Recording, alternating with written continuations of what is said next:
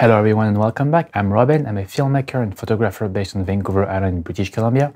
And today I want to share five apps I use daily to enhance my film photography workflow. Let's check it out.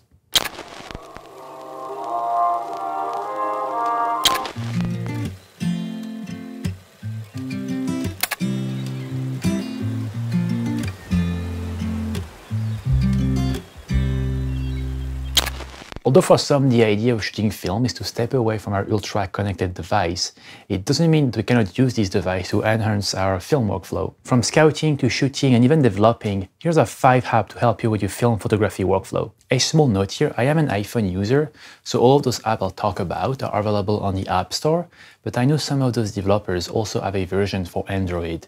And for those that don't, I know there are similar apps that do the same thing.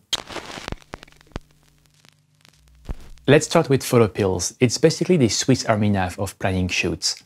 It has tons of data to help you successfully plan and get your bucket shots. This app can help you calculate your exposure, your depth of field, but also how to make star trail and get the Milky Way.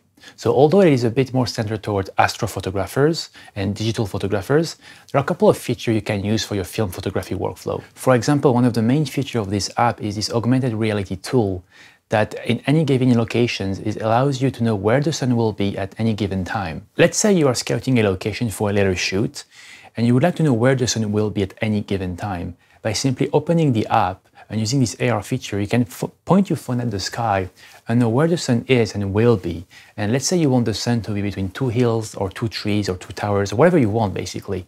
Even if you want your subject to be backlit, you'll know exactly when the sun will be in its optimum location so you can get that bucket shot. This augmented reality feature is really helpful, but it only works the location you currently are in. If you are planning a location that you cannot get in advance to, you can still use PhotoPills to get an idea of where the sun will be and the moon and the Milky Way.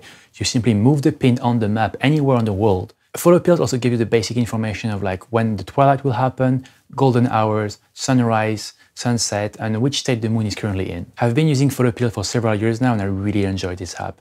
And although it's a bit costly at $10.99, I think it's worth it, let alone just for the AR features, because again, when you're on location and you can see exactly where the sun will be, to me, even just that feature cost the price of the app. And PhotoPills is available on the App Store, but also on the Android store. The next app on our list is called Lux, and it's a smartphone light meter.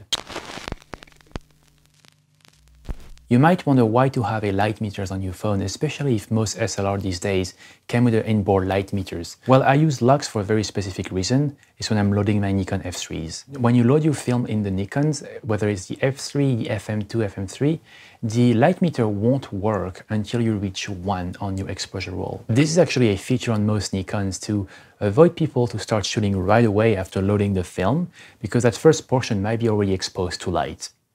That being said, sometimes you can really tightly load the film, and I like to be able to shoot as soon as possible. And even if I sometimes have to double it, it would be nice if the light meter would start right away. For smartphone light meters, it's actually pretty accurate, and most of the time I've used it, the exposure was correct on my film. That being said, if you have one of those SLR without a light meter, I would highly suggest to get a dedicated light meters instead of only using your phone because the phone is good, but it won't be as accurate as a dedicated light meter. There are plenty of apps that give you the same feature of light metering on your phone. I use Lux, and unfortunately it's not available anymore on the App Store. My guess is that the developer removed it. That being said, I also use Pocket Light Meter, which is still available. And all of those apps have the same feature. So you basically set your ISO, your aperture, and you have your shutter, or you set your ISO, your shutter, and you have your aperture. So they're pretty straightforward, and they all have the same idea behind them. Staying on the shooting side of things, the next app is called Film Reciprocity by Guillaume Moigneux. If you are shooting long exposure on film, then you must already know about the film reciprocity failure. If you don't know about film reciprocity, there is a very well written article on shootitwithfilm.com that I linked in the description below, and you can learn about film reciprocity. But in short, it's the idea that when the film is exposed too long to light, the reciprocity fails, and you need to compensate for that failure. Most film manufacturers will provide you with a formula to counteract these reciprocity failures. However, you need to do the calculation yourself and it can be cumbersome and if you don't like math like myself, it's a pain. But fortunately, there is an app for that. And that's where the Film Reciprocity app enters the game. It has a list of the most used film, and you simply enter your shutter speed, and then it will calculate for you the actual shutter speed needed to counteract for the film reciprocity failure. So I will just launch the app to give you an example. So as you can see, it's a very simple uh, layout. We're gonna select a film. Um, let's choose my favorite, Ilford HP5. Now, let's say you are photographing a waterfall and you want that smooth water. Um, the camera is letting you know that the, the correct exposure is 4 seconds.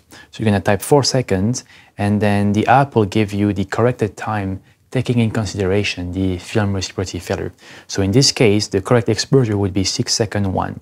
So you would go into bulb mode, and instead of like getting the shutter for like 4 seconds, you actually, the shutter will be open longer for adding more light, and here it will be 6.1 second. So it's a very simple app to use, and they do have a decent collection of uh, film stock you can use uh, from Cinestill, Kodak, Ilford, and uh, Fuji. And this specific app is a bit difficult to get. I believe I got it from GitHub or maybe the French App Store.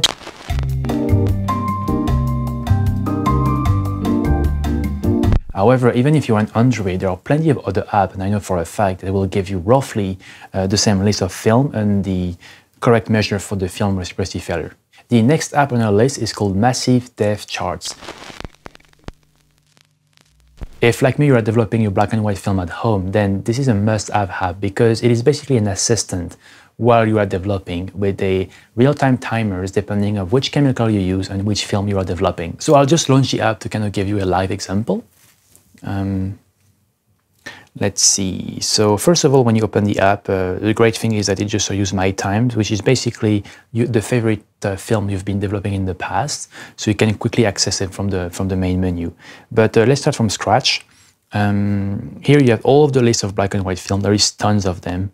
I'll choose one of my favorite. Like I said, we're gonna go with HP5. Next thing you need to choose what type of developer you are using. Uh, in my case, I often use the Ilfotec DDX. And there are several versions of the DDX. You can get it in powder or in liquid, the uh, 1 plus 4 or the 1 plus 9. I usually use the 1 plus 4. So I'm going to select this one. Next, going to tell you uh, if you shot your film at box speed, if you pulled it, if you pushed it. And that's one of the great advantage of this app is that you already have like all of the push formats. So if you push one stop to EA 800, uh, two stop to EA 116, so you can have all of those time here. So I'll choose just a normal uh, uh, box speed at 400 ISO. And here you are basically ready to go. Um, it tells you, uh, uh, this is the HP5 uh, with Ilfotec. It tells you that it's um, 7 minutes at 24 degrees. Um, and I believe you can actually modify this exactly. You can actually modify uh, if um, you are shooting a, if you have a bigger Paterson tank that allows two or four rolls sometimes. You can change the volume in millimeters. For instance, uh, I'm gonna go with a 600 here for like two rolls of 35 millimeters. The dilution is one plus four, and it gives you the final mix as well. And finally, it's going to be 7 minutes at 24 degrees. And you have different uh, settings here. So let's say you're walking in a dark room and you don't want the bright screen of the phone. Well, you can switch to uh, ambient lighting, for example. Um, that being said, I wouldn't use that in uh, when like removing the film from the from the films from the rolls because you might this is enough light to ruin your film or to fog your film. So that's only to be used once the film is already into the developing tank. And finally, we're gonna start here and there we are, we just started. So it tells you that we need to like rotate the film concurrently for about seven minutes. Uh, and uh, we won't go through the full thing, but you get, the, you get the idea. For seven minutes, you're gonna have to rotate and let it rest. And moving on, it's gonna move to the stop bath, then to the fixing, to the hypo clear, and finally the final wash. Let's stop it right there. So this gives you a rough idea of what you can do with the Massive Dev Charts. Uh, it's only available for black and white, and then the developer has a different app maybe a more updated app if you also wish to develop C41 and E6 at home. I currently only develop black and white, so I stuck to this app. The Massive dev Chart is available on the App Store, the Amazon Store, and the Google Store for $8.99. And I cannot stress how good this app is. And if you like me developing black and white film at home, you should definitely get it. And finally, we have our fifth app that's called Series. So now that you've shot your film, developed it, maybe got the scan back from the lab, you may want to share your best images on social medias. And despite the fact that most photographers these days do not like Instagram, it is still the main app to share photography. The thing about Instagram though is that although you can upload vertical content, images are usually cropped at a 5x7 or 4x5. And when you shoot 35mm film, it is a 3x2 ratio, so by simply opening the app in Instagram, this will crop your images and maybe you spend quite a bit of time on the compositions for a 3 by 2 ratio. And this is where Series comes into play because it's one of those numerous apps that allow you to put a white canvas around your images. And I really like this app because it's very simple to use and you can change the canvas. Let's say if you would like to upload a vertical images, an horizontal image, or even a square images with different ratio, you can do so with the app. And on top of that, you can add borders to your images. I like to add a very thin black borders around my 35 mil so it kind of make a nice contrast between the images and the white canvas. This app is free to download and there is a subscription for most of the advanced feature. If you're using the app daily, you may want some of those extra features. That being said, you can just stick to the free plan if you just wish to add white borders around your images. And that's five apps I use daily to enhance my film photography workflow, but don't leave yet because there is a bonus app and it's called Grainery. Grainery was made by Cal Johnson. He's a photographer that got tired of Instagram by pushing away photographers and making people concentrate more on reels and videos. So he basically made his own Instagram for film photographers, but without reels, without algorithm, just film photos. It got released in the spring of 2022 and got features on websites such as f-stoppers and petapixel that's roughly when I made my account, which allows you to upload up to 25 images. And after that, you need to get a subscription to upload more images and to be able to unlock more features to personalize your uh, your profile and such. The thing about Grainery though is that it's been kind of quiet lately. I know that the developers I think has still a full time, so he's developing this app on his free time. So that's probably why we don't see much uh, updates on the app lately, but it's definitely an app to watch for if, like myself, you want to connect with uh, film photographers and you would like to have a platform uh, solely dedicated for film photography. And when you upload images on Grainery, you actually have to tell us which camera you use, the lens, the film stock, if you pushed or pulled the images, alongside a description and the locations and some uh, simple hashtags that the photo can be shared and seen by other people. And the great thing is you can actually search images shot on a specific film stock. For example, you want to try a new film stock, you don't really know what it looks like, you can just type it in in the search bar and you'll get a a collection of images shot, for example, on Kodak Gold 200, so you'll know how it's supposed to look, and then you can decide whether or not you want to try it out. The other thing to note is that there isn't currently an app for everyone. It's in beta productions, and the developer is slowly rolling it out for uh, specific users, most of the people that use these subscriptions. And for other people, you need to use the web app. So you can just leave the small icon on your phone, or you can even upload and see the Grainery website onto an iPad or a, a computer, for example. I'm sure we'll see extra features and the actual app rolling over the upcoming months. So this is definitely an app to watch for. All right, there you have it, guys. Five apps, actually six apps to enhance your film photography workflow. So thank you for watching. And if you got something out of this video, please consider liking and subscribing so I can do more of those videos in the future. See you next time.